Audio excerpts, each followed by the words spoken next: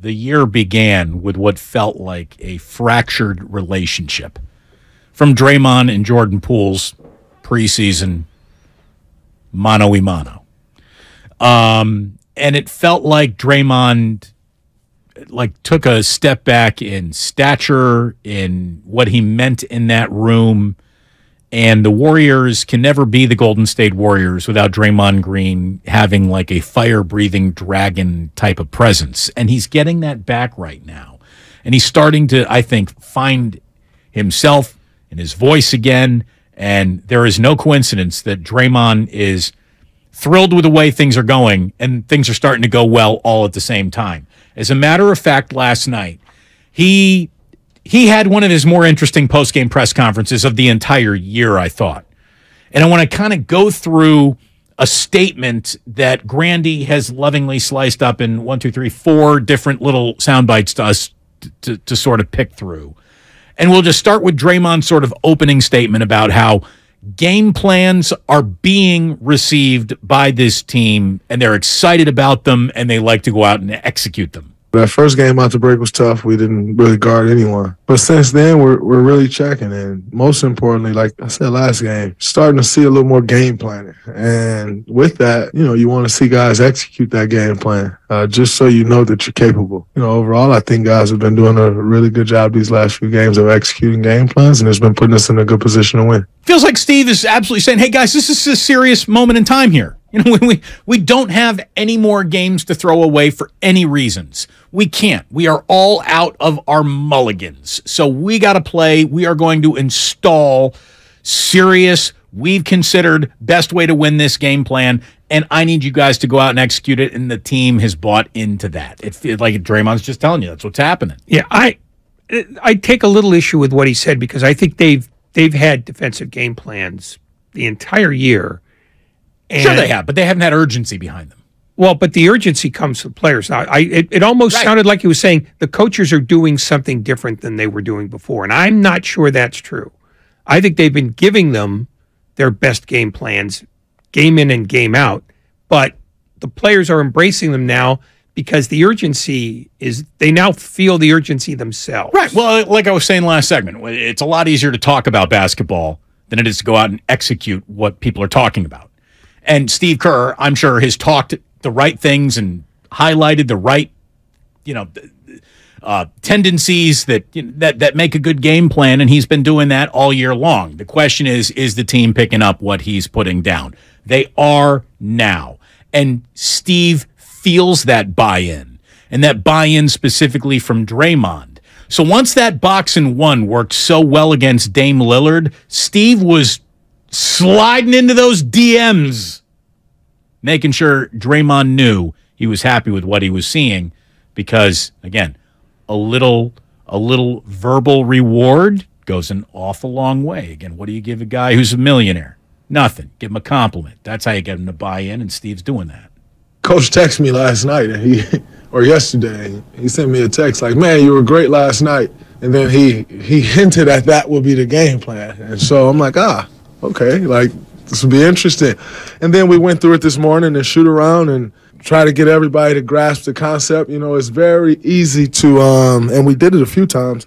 It's very easy when a guy is sagging off like that. When a guy catches you, you just rotate to him. You know, and we didn't want to do that. And I think you know the game plan worked for us tonight. Again, Draymond, he's invested. He's executing game plans. So I'm going to go ahead and tease tomorrow night's game plan. Draymond just said, Ooh, that's interesting. So his ears go up. The entire locker room, I think, gets excited when they know Draymond's excited about a defensive game plan. When Draymond's got a level of personal investment in it, he, I, I think that becomes infectious. I really do. I think it becomes infectious on the team. And it, it just lends to further buy in and focus for a team whose focus is been legitimately questioned throughout the year. Yeah, I don't think he's. I, I guess where I'm I'm missing something here is that I think he's been focused on essentially every defensive game plan because that's his bread and butter. And he's been a great defensive player all year long. He's been good. Draymond's having think, a really I, good year. Yeah, I think the buy-in is coming from guys who either couldn't grasp the concepts before or didn't fully understand what it meant to show that you grasp the concepts.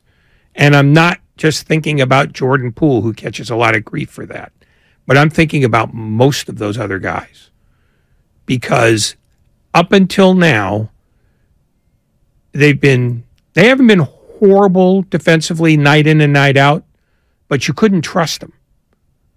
I think now, and maybe it's the urgency, maybe that maybe it's the fact that the light bulb all went on at, at the same time, but this is a team wide comprehension. I don't think Draymond Green ever had any problem comprehending the value of defense. No. But you can't be a good defensive team if you only have one or two guys playing proper defense. It's got to be team wide and it can't slip. And even and even last night, they weren't defending greatly in the first half. It was the second half when they just shut everybody down. There were a lot of open looks that were just clank city there. So, yeah, they, they did get a little lucky along the way, and you have to in an NBA game. Nobody plays defense for 48 minutes in this Yeah, league. Nobody. But- so, you know, uh, some of this is, yeah, all of a sudden the light went on, but it's still kind of intermittent, which is why I, I think the litmus test will be able to tell what color it is in two weeks because then they'll be away from home. what I like about Draymond is Draymond's game is, I mean, I, I would say that Draymond plays a brutal game. And I mean that in a complimentary way. He is a very physical, emotional type of player. And when he gets to then add an element of skullduggery or psychological warfare, that's when I think he really gets turned on as a basketball player. And that's what they rolled out last night against Russell Westbrook. The sag off of Westbrook was one of the more devastating on court defensive choices I've seen executed. They dared a guy to shoot. And then there's that. Like there's daring someone to do something, and then there's what we saw last night. It, it was embarrassing.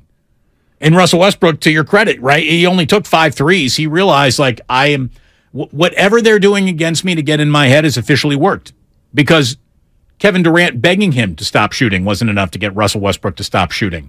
But uh, I, I've always heard Ray. Uh, I, have you ever been to Japan? No. I've never been to Japan either. It's one of the places I absolutely want to go in my life. I think the the, the the the place just looks fascinating to me. Like the whole city of Japan. It's like the whole thing is Times Square. You know, so I'd like to see that. And I've always been like just fascinating, fascinated with Japanese culture. Do you know how they end bar fights in Japan? Do tell. the entire bar basically stops drinking, stops talking, put down their drink, and just starts staring. It's like you're shamed into into you're you're creating this scene. You wanted attention. All right, well, here's the entire bar basically looking at you now. Are you happy? Are you satisfied? Can you shut up and stop disturbing the room now?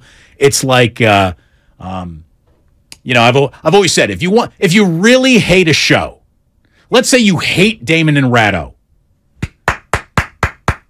Every single time you tell us about it, we win. Every single time you're paying attention to us to let us know how much you hate us, we have won that moment, that day, that fight, that battle. The most devastating thing you can do is ignore something. And they basically ignore the disturbance by focusing on it. You know, like they, they shame you into stopping. And that to me is like it's just it's it's fascinating because you feel everybody looking on you and all eyes are on you and that gets embarrassing. And that's what they did to Russell Westbrook. They made all eyes focus on him. There you are, alone, not a defender within 15 feet of you in any direction. Are you going to shoot an open gym practice three? No, you're not. We win. That's it. I mean, like, you win when the other guy is afraid to take a practice jump shot. It was very reminiscent of what they did with Tony Allen in the playoffs in 2015, Yeah. which was basically we know you're not a good shooter and we know you don't like to shoot. So we're not going to guard you. And it wasn't about shaming him, it was about we want you to shoot. Please shoot more. It's a percentage play. Yeah. And to Tony Allen's credit, he didn't fall for the trap.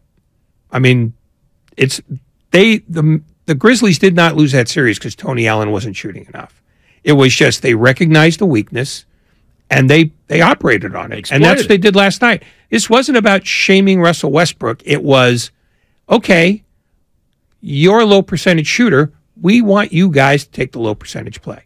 Having said all that, I think there is a rare element of empathy that you're about to hear in Draymond, and he might have seen a little of that game plan in himself. Oh, by the way, welcome to your four o'clock hour.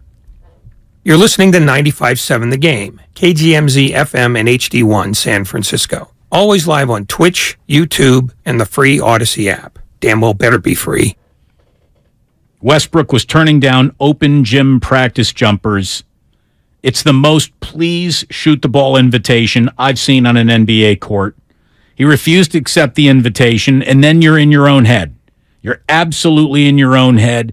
The Warriors held the entire Clipper team to a lousy shooting night. Kawhi only attempted 12 shots. Paul George was just stepping into lazy three pointers. You know, just not even trying, just just didn't want to fight around screens and just took lazy three pointers. But obviously, what happened to Russell Westbrook last night is what all the shows are talking about today. And it's what Draymond Green talked about and how much it gets into your head when you are undefended. I think when you have a game plan like that, even more so, you know, I know um, everyone always judge Russ jump shot, but what that does to you mentally is tough. You know, it was more so the mental than his shot. He's been shooting the ball well. I think he's shooting a three like at 33 or 34 percent. But mentally, that can get tough. And so I thought, um, I thought, you know, we did a good job of sticking with the game plan, and we was able to uh, muck it up on on the defensive side, and it it ended up working out for us. And look, Draymond's a killer. Like he's going to do whatever he can to rob a player of his confidence, whether it's chirping or hacking or playing or whatever. You know, Draymond will do whatever he needs to do to rob a player of confidence. That's war daddy Draymond. But I really thought that he sees himself in that Westbrook problem because what Golden State Warrior is more sagged off with an invitation to shoot than Draymond Green himself. And I really think that you could almost hear a little bit of empathy when Draymond said this. It'll make you think, for sure. Um, because you're open every play. And you're taught in basketball, you're open, take the shot. But if you're open every play, you kind of start questioning yourself. And so I thought uh, I thought we did a good job executing. Didn't you didn't you hear a little empathy in that? Like a, just a, a touch there? I think he sees himself in the problem.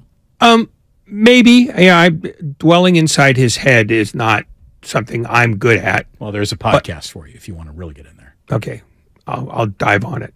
But I think he was speaking more as a clinical defensive specialist, which is you let the guy who doesn't trust his shot shoot. I mean, it's it's it's almost like uh, you, you put your head under the hood of your car and you see a mechanical problem in front of you. So, what are you going to do about the problem?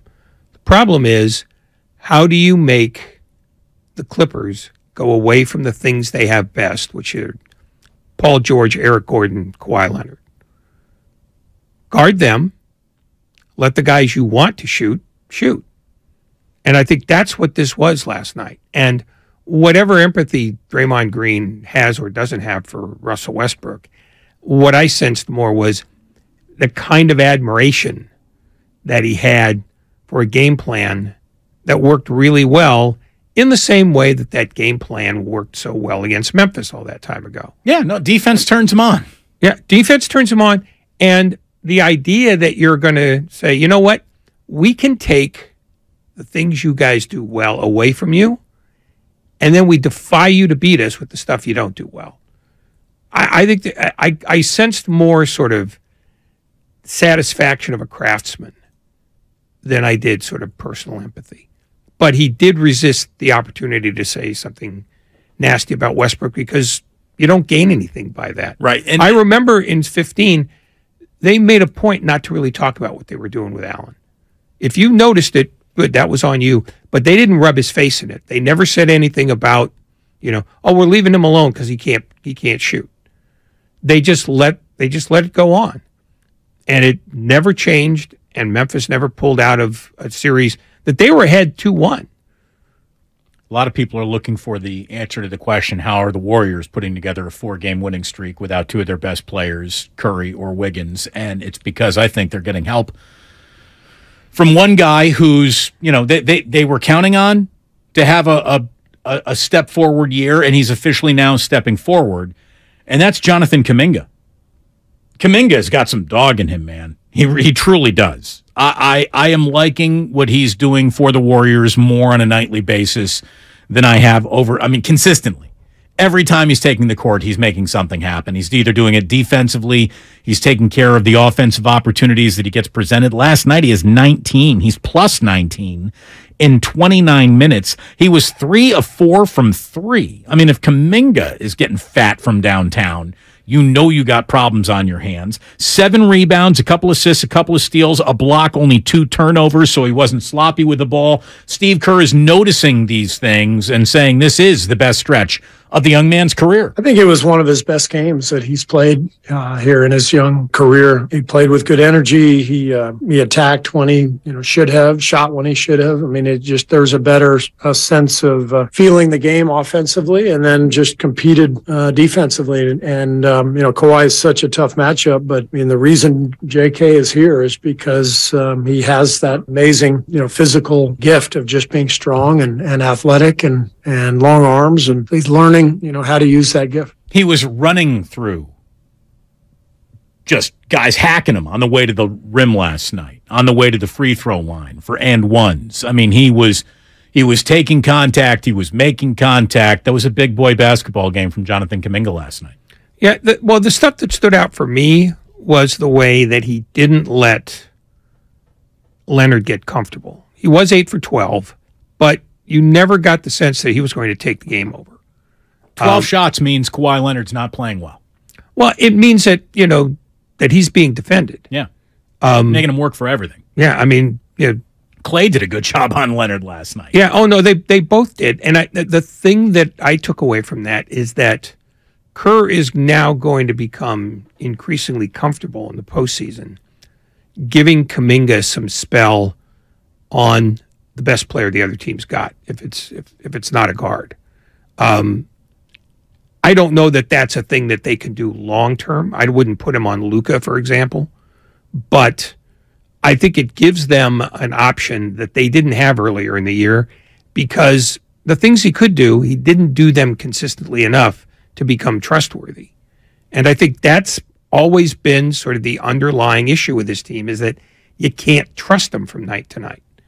Again, you know, this is four games against beatable opponents at home, but the Warriors looked trustworthy. And that's that's the thing that separates them from other good teams.